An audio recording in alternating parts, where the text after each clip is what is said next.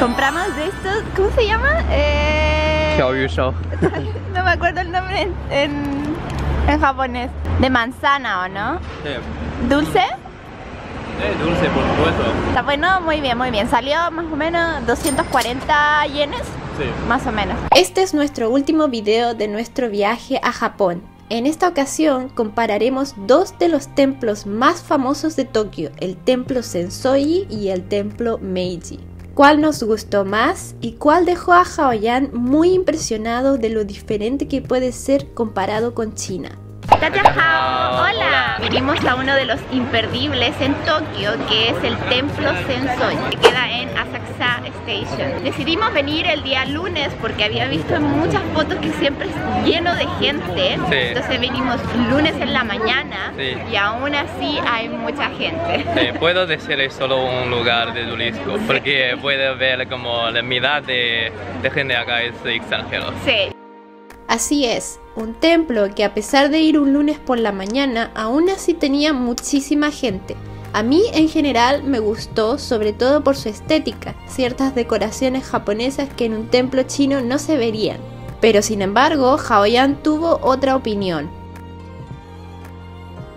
Este templo creo que es similar a los templos chinos. El tipo de arquitectura, incienso, muchos turistas y sacar la suerte.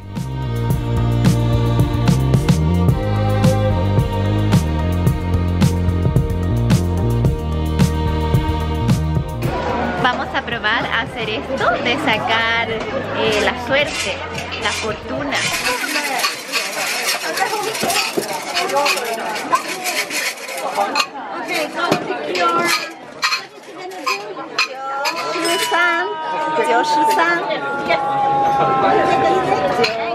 Novena y tres.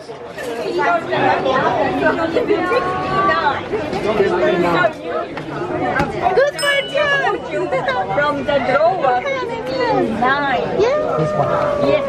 Haoyan sacó la fortuna regular y yo saqué buena suerte. Si se dieron cuenta, en las tomas del templo Sensoji se pueden ver muchísimas chicas y algunos chicos usando vestimenta tradicional japonesa. Pues la verdad, todas estas personas en su gran mayoría eran extranjeros, muchos de otras partes de Asia, por lo que nos hace pensar que quizás cerca del templo hay lugares que ofrecen este servicio de alquilar un yukata. Si quieren experimentar algo así en un lugar tradicional japonés, este puede ser una buena opción.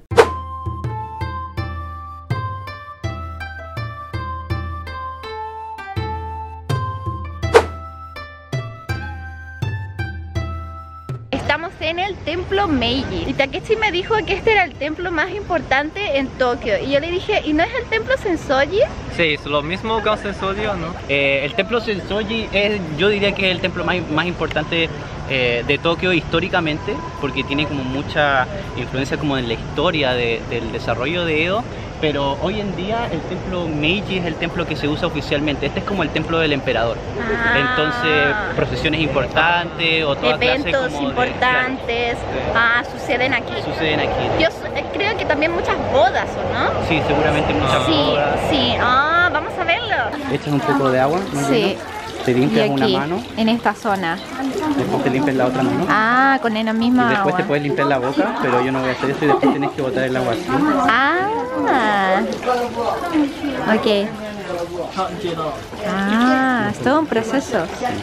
El templo Meiji me sorprendió muchísimo, a mí como un chino, a pesar de que está en medio de una zona muy agitada como Harajuku. El templo y el parque se mantienen en completo silencio. El parque era gigantesco, con muchísima naturaleza. Pero lo que más me produjo cierto choque cultural fue la boda japonesa que vimos en el templo. Silencioso, armonioso, tranquilo, 100% diferente a lo que una boda china sería. En China creo que nunca se vería una boda en un templo. Para cenar, fuimos con una amiga chilena a los infaltables sushis rodantes.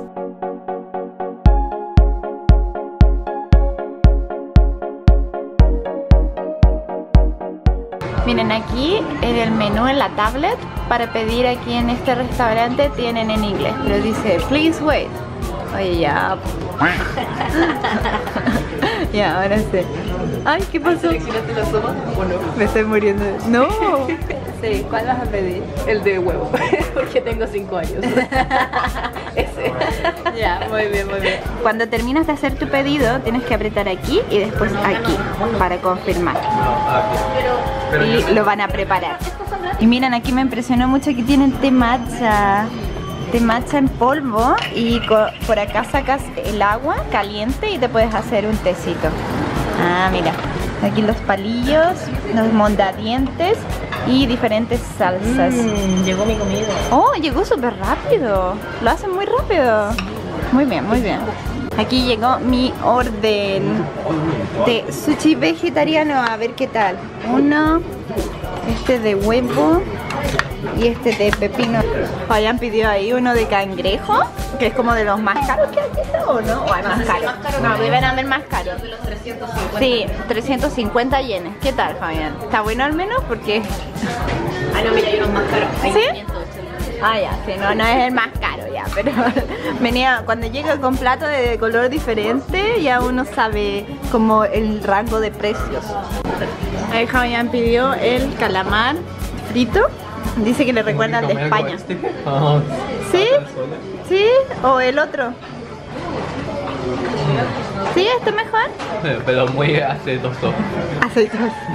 Ahora van a venir a contar nuestros platos y a ver cuánto salió. Mm, arigato gozaimasu. Aquí ya preparándose para los Tokyo Olympic Games del 2020. Estamos cargando la Suica Card para el metro y tiene menú en inglés, así que todo bien. Yes. Inglés. Y por acá se pone la tarjeta acá. Y después se selecciona el monto. Y si quieren un- una boleta, apretan ese botón y aquí se pone el dinero. Acá para las monedas. Nuestra última parada fue el mirador Tokyo City View. Hay diversos miradores en Tokio donde puedes ver vistas maravillosas desde arriba de la ciudad, pero nosotros escogimos este para poder ver la torre de Tokio. Como que no te puedes perder aquí. Te guían mucho. Estamos en el Tokyo City View y nos guían para subir al ascensor. Ah, como el, como el de Taipei.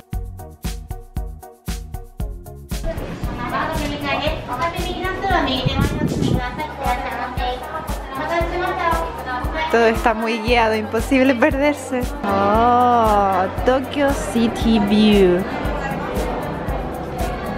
Con esta vista nocturna de Tokio despedimos los vlogs de Japón, primera parte, porque sabemos que volveremos en un futuro no muy lejano.